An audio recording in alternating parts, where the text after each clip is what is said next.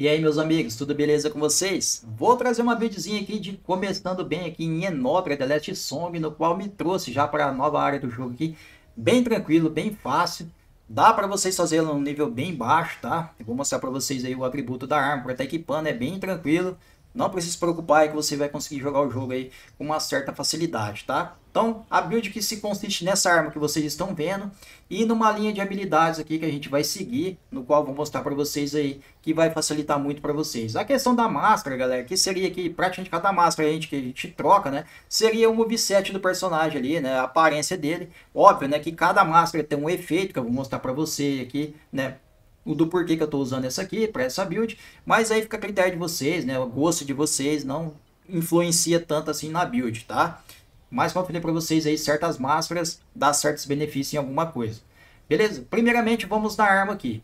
Eu estou usando aqui a engraxate colossal. Essa é a arma que me trouxe para cá com uma certa facilidade, tá? Muito tranquilo mesmo.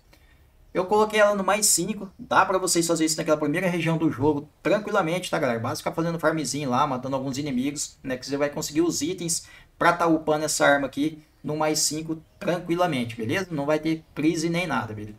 Se você colocar ela no mais 5, galera, olha lá embaixo, lá em dano de atributo doença, cara. Ela causa 1185 de doença, né? Quer dizer que quando você dá uma pancada no boss aí, né? E causar doença, ela vai começar a consumir a vida do boss, matando ele bem mais fácil, né? E sem contar aqui também aí, quanto mais pontos você tiver no atributo assassino, que seria para aumentar aqui a, o poder do dano físico, né? Aí você vai também aumentar aí o poder da arma, né? Vai aumentar o dano físico da arma, beleza?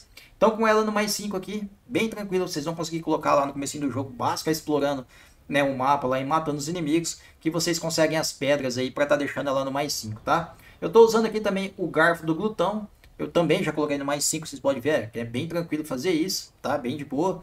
E ela é uma arma que a gente pega depois que a gente derrota um boss, tá? Eu não vou dar spoiler aí, mas ela também tá me ajudando aqui na gameplay, já que ela tem um alcance maior, né? Essa daqui ela é uma arma pesada, de corpo a corpo, né? Pra gente atacar mais de perto. E a do glutão aqui, né? Ela tem um alcance maior aqui. Se eu quiser acertar um inimigo um pouco mais longe aí, tá? Praticamente uma haste aí, né? Tranquilo, galera. Vamos lá então, só para vocês entenderem. Então a build se consiste nessa arma. Então se você upar aqui Elementista, já dá para você ir. Lembra que a arma só precisa de 15 pontos em Elementista, tá? Se você chegar em 15 pontos ali, você já consegue, tá? Beleza? Tá usando a sua arma tranquilamente ali. Eu tô com 19 pontos em Elementista. E eu foquei aqui, galera, no Assassino. Né? Porque ele melhora o dano causado por ataques físicos, além de aumentar a chance de obter itens ao matar certos inimigos. Né? Então, Além de eu matar os inimigos, eu tenho uma chance de drop, né? Já, a gente está conseguindo algum item do jogo. E o pano assassino aqui vai melhorar o ataque físico, que é praticamente que o dano que a gente vai causar né, com as nossas armas, que é o dano principal, beleza? Então você pode focar aqui em assassino e elementista para essa build, beleza? Eu estou no nível 53 aqui, bem tranquilo chegar nesse nível aqui, não é nenhum segredo, né? Basta a gente estar tá matando com os inimigos, os boss do jogo aí, dá para vocês alcançar esse nível aqui facilmente, tá, galera? Eu praticamente mal cheguei na segunda parte do jogo e já tô nesse nível aqui, beleza? Tranquilo, galera, explicado essa parte aqui então dos atributos, né? Foca em assassino e elementista. A arma aqui, galera, né? Bastou derrotar o Curtis aí, porque é o primeiro boss do jogo. Explorou o comecinho da área ali, vocês já vão achar essa arma, tá? É bem tranquilo. E tendo 15 pontos em elementista, vocês já usam ela. Fechou? Essa parte que então tá entendido, né? Vamos entrar numa, numa área aqui um pouquinho mais complexa, vamos dizer assim. Não é muito, mas é só para vocês entenderem. Parece que é complexo, mas não é, tá? A gente tem aqui os conjuntos, né? Que seria aqui as máscaras, né? Cada máscara, galera, ela vai dar para você um efeito, né? Um exemplo que se eu usar aqui a máscara de vermelho, ela vai aqui, ó, usar explosão ardor aumenta o poder de ardor por um curto período, né? A que eu estou usando aqui, que é a máscara de Kurtz, seu poder do atributo é aumentado, mas você recebe mais dano de todas as fontes. Além disso, a parar perfeitamente um ataque, carrega suas linhas de máscara enquanto você está desperto. Por que, que eu estou usando a de Kurtz? Lembra que a arma ela tem 1185 de dano de atributo, galera? E é justamente o efeito dessa arma aqui. Ela aumenta o dano de atributo, porém, ela causa mais dano. Você vai tomar mais dano. Então, fica um adendo aí, tá? Mas a máscara em si não é tão principal assim. Ela vai ajudar um pouco no dano? Vai, mas você pode estar escolhendo uma máscara do seu gosto, até porque, né, se você trocar aqui, muda o visual do seu personagem, vai a gosto de vocês, tá? O que vocês podem usar aqui também, galera, né, no nosso personagem aqui, são as linhas, né? Que é isso aqui debaixo da máscara, ó. Vou trocar aqui para vocês verem. Essas linhas aqui, eu estou equipado aqui, como vocês podem ver, o aspecto do acólito, tá? Eu comecei com esse aqui. Por que, que eu comecei com ele, galera? Porque justamente ele me dá mais 5 pontos ali em elementista, que é o atributo que eu preciso lá para estar tá usando a arma, né? Então, se você está um pouco baixo ali, não tem os 15 pontos em elementista, você pode vir aqui na linha, equipar aqui o aspecto do acólito, que já começa né, no personagem, no começo do jogo, tá? Então você já tem a opção de estar tá colocando aqui e pegando a arma, né? Você já pode colocar ele e facilitar aqui. Você pode ganhar mais pontos, né? No dano elementista, beleza? Tranquilo, né? Outra coisa que vocês conseguem também, galera, é mais linhas aqui. Depois de estar tá derrotando os boss, tá? Ó, tem aqui o aspecto design, no qual ele aumenta ali mais 20, né? No bruto ali, que seria né, o personagem no geral ali, na defesa física dele e tudo mais, né? Na questão da, da vida, tá? Só que ele perde ali também pontos em outros atributos, né? Ele perde menos 3 ali em assassino, ele perde mais 10 em trapaceiro e perde menos 6 em combatente, tá? Em combate, no caso, né? Então, fica aqui a critério de vocês, mais de começo lá, como eu falei pra vocês, uma build começando bem, vai aqui no aspecto do acólito, galera. Depois que você enfrentou um boss do jogo e derrotou ele aqui, ó, que é o aspecto de vermelho, né? Derrotando esse boss aqui, galera, esse aqui seria uma boa para você usar nessa build. Porque, ó, ele vai tirar 9 pontos ali da sua vida, né? Porém, ele vai dar mais 2 pontos ali em assassino, que é o dano físico, e ele vai aumentar mais 17 de elementista, cara. Né? O que é muito foda. Ele vai diminuir também ali 9 em trapaceiro e vai dar mais 4 também em mago de combate. Então, pode ser que o aspecto de vermelho aqui, se você usar, vai cair muito bem para essa build aqui, né? Mas para você começar, vai aqui no aspecto do acólito, beleza? Tranquilo, galera? Agora, o que faz realmente essa build ficar da hora, fácil de jogar, são essas habilidades que eu vou mostrar para vocês aqui agora. Isso aqui embaixo das linhas, né? Então, a gente tem as máscaras, as linhas e aqui são as habilidades que a gente consegue estar tá equipando, né? Para melhorar aqui o nosso personagem, galera. E onde que a gente desbloqueia isso aqui, eu já vou mostrar para vocês, tá? Primeiramente, eu vou mostrar aqui o que eu estou usando, que facilitou muito a gameplay para mim e acredito que vai facilitar para vocês. Eu estou usando aqui o andar, o ambar blindado, né? Que quando eu usar o ambar de harmonia, aumenta a sua defesa física e também vai me dar uma super armadura pelo mesmo período, né? Então, além de aumentar a minha defesa física, eu vou ganhar uma armadura extra aí, né? Pelo mesmo período ali enquanto eu usei o ambar, tá? Então, recomendo vocês equipar aqui o ambar blindado. Outra coisa muito boa aqui é o ajustes emergenciais. Quando sua vida estiver abaixo de um certo patamar, seu aparar ataca com mais eficiência. Como assim seu aparar, galera? Aparar é para você se defender, né? Quando você usa o bloqueio perfeito lá, o famoso parry que você conhece no jogo. Quando você acerta o parry, galera, o seu inimigo já sofre dano, cara. Então olha a facilidade, né? Então, só de você ficar defendendo o inimigo aqui, você já pode estar tá matando ele, cara. Né? Se você usar o parry perfeitamente aqui, só de você ficar parando os golpes dele, você já pode matar ele, beleza? Temos aqui também o duelista fiel. A parar um ataque perfeitamente, cura você por uma fração da sua vida máxima. Esse efeito é amplificado quando sua vida está baixa. Então, praticamente acertou outro parry perfeito aqui. Vai regenerar sua vida, galera. Então, se você tomou algum dano aí, acertou um parry, vai regenerar sua vida. Isso, quanto mais baixa tiver sua vida, mais vai ser essa regeneração, beleza? Então, usem aí também o duelista fiel. Temos aqui também a camada de espinhos que receber dano físico faz com que o atacante receba dano físico em troca. Então, se o inimigo causou dano físico em mim, galera, automaticamente ele vai sofrer dano físico também, cara. Olha aí como é que facilita muito essa build aqui, cara. Muito mesmo, né? Temos aqui também dança de espada, né? Acredito que seria dança de espada. Vai aqui, ó. Causar dano com ataques fracos aumenta o dano de ataques fortes e vice-versa, né? Sofrer dano reinicia esse efeito. Então você não pode sofrer um dano para não perder esse efeito aqui. Então vamos eu ataquei com, uma, com um ataque fraco, se eu já atacar com um ataque forte, vai aumentar o dano do ataque forte. Se eu ataquei com um ataque forte já atacar com um ataque fraco, vai aumentar o dano do ataque fraco, beleza? Muito bom. E temos aqui também o caminho da fúria.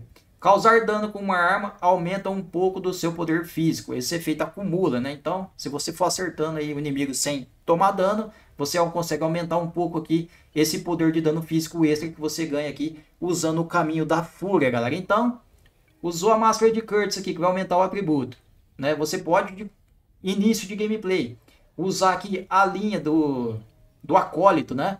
Que você vai conseguir mais 5 pontos em elementista. E usando essas habilidades que eu mostrei para vocês, vai facilitar muito a sua vida, tá? Tem outro detalhe legal no jogo aqui, galera, que o jogo também permite a gente trocar, colocar três builds, vamos dizer assim, né? Se a gente apertar R2 ou L2 aqui, ó, a gente tem três slots, tá? Então, conforme vocês for criando alguma build diferente, né? Você pode estar tá usando outras máscaras, tá usando outras habilidades e tá testando. Assim que eu arrumar outra build, assim, mais eficiente, né? Ou uma build diferente que causa muito dano também, vou trazer para vocês, né? Então, só para vocês ficarem cientes que ó, a gente tem outros slots aqui que a gente pode estar tá fazendo outras builds sem desmanchar a que a gente está usando, beleza? Entendido aqui, galera? Acho que não ficou nenhum detalhinho para trás, né? A máscara aqui, usa que você achar o melhor efeito aí para sua build, né? Essa aqui, para essa build começando bem, recomendo a máscara de Kurtz. O aspecto aqui para você começar, usa o aspecto do acólito que dá mais 5 pontos no atributo alimentício e usa todas essas habilidades aqui, né, que eu mostrei para vocês. Como que faz para desbloquear essas habilidades, galera? Vocês vão vir aqui em caminho dos inovadores e vai seguir essa linha vermelha, tá? Aqui tá todas as habilidades que mostrei para vocês e mais algumas outras que eu já tinha liberado aqui, mas como não tem nem espaço para a gente usar todas, a gente tem que escolher o que a gente quer usar né? Eu coloquei lá que vocês viram. Essa camada de espinhos eu estou usando lá. O duelista fiel eu estou usando lá. Ajustes emergenciais eu estou usando lá no personagem. O ambar blindado eu estou usando lá no personagem. Dança de espada eu estou usando lá no personagem. E caminho da fúria, né? Eu estou usando lá no personagem, galera. A minha meta é fazer o quê? É chegar aqui, ó. A gente precisa aqui de 300 pontos de memória para a gente estar tá desbloqueando essa habilidade. Se eu chegar aqui, eu acho que o personagem vai ficar melhor ainda. Por quê?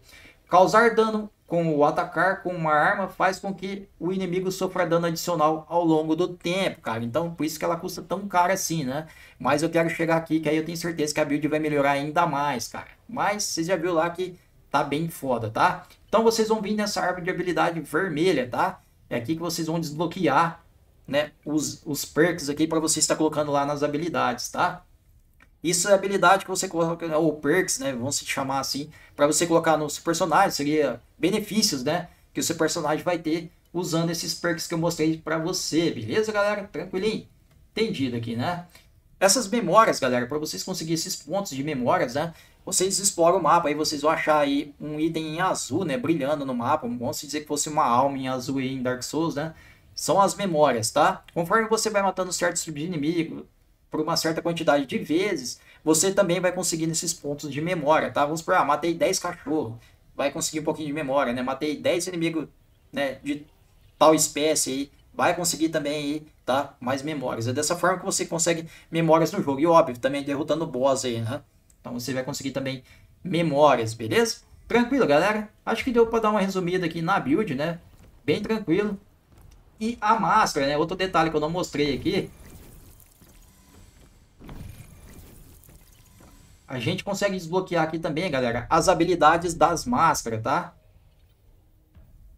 Que seria isso aqui que eu estou mostrando para vocês aqui do lado esquerdo, né? Ó. Vocês estão vendo aqui, ó, bem tranquilo. Isso aqui seriam as habilidades, tá? Então, você tem quatro slots aqui no qual a gente consegue estar tá usando. E como que a gente consegue estar tá usando essas habilidades, galera? Aí basta ficar batendo nos inimigos, né? As habilidades ali tá do lado direito, no canto direito inferior ali embaixo ali, tá? vai começar a encher uma barrinha azul ali, e a partir que, ela, né, que a barra estiver completa, ela vai ficar brilhando em dourado, basta você segurar o L2 aqui, né, e apertar ali o triângulo, a bolinha, o X ou quadrado, onde essa habilidade estiver ali, né, que você consegue estar tá usando.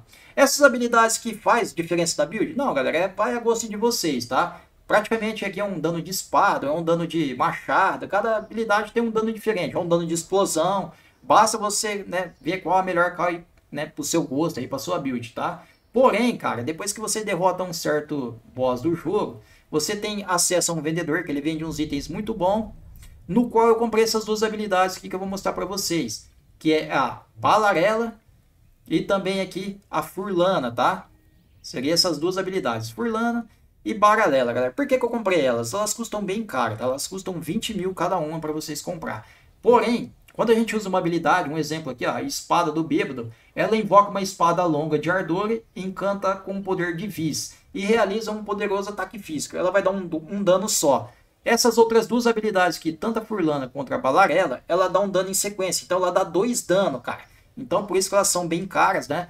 E com certeza vai facilitar aí para você estar tá derrotando os boss. Então eu recomendo aí. Já teve acesso a esse vendedor aí depois que você derrotou o boss?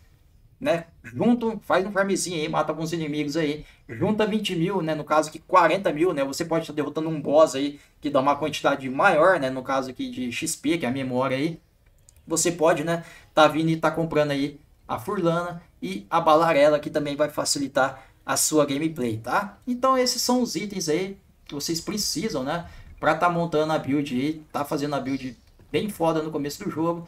Vai por mim aí, vocês vão ver que vai facilitar. Se vocês querem tirar uma prova aí, eu já postei aí no canal quatro batalhas de chefes, tá? Vocês podem estar assistindo aí que vocês vão ver aí o dano da arma, né? Dá para matar tranquilamente. Inclusive tem um boss aí, que é o Baldovino aí, tem um macetinho que dá para matar ele praticamente, que ele vai ficar preso, ele vai ficar enroscado, né? E dá para matar ele bem fácil, tá? Assiste o vídeo lá que vocês vão ver aí, pega essa dica, beleza? Espero ter ajudado você então, galera. Então também me ajude aí, deixa aquele like no vídeo aí, se inscreva no canal, para vocês não é nada e assim você fica por dentro de tudo que rola aqui. Um abraço e até o próximo vídeo.